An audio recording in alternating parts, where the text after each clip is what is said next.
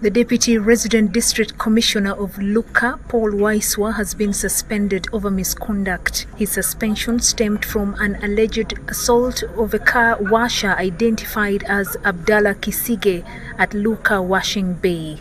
It is said that when he demanded the car washer cleans his vehicle, he was ignored, which angered the deputy RDC. A bystander recorded the incident and shared the clip on social media, causing an uproar.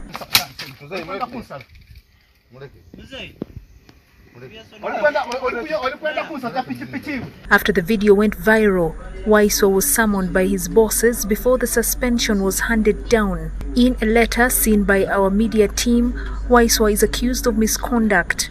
Police is also asked to charge him over the matter. In the letter, Waiswa is ordered to hand over all office property, including the office car, and prepare his defense within 14 days. Area residents welcomed the decision to suspend the deputy RDC over the shameful act.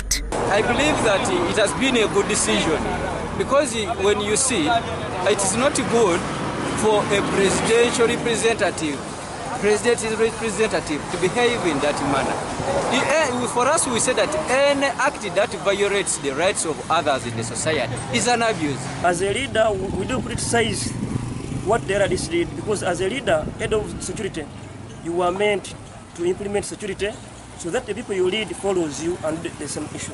But if you're a leader and you, to the level that you get a stick to torture a person, it means you have become the court.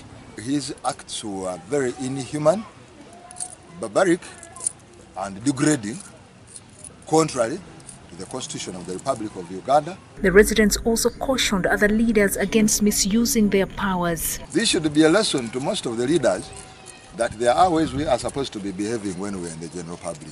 I think government should sit down and assess these people.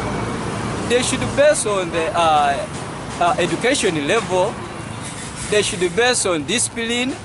They should be based on the caliber of a person they are employing or they are appointing. Deputy RDC Waiswa was appointed early this year. He last made his public appearance over the weekend at an event. Waiswa refused to speak to our reporter, saying he was busy when contacted.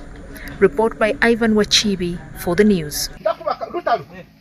Lutalo, Lutalo. Is there a job here? wangu Is there a job here? muzeyi muleke ebyo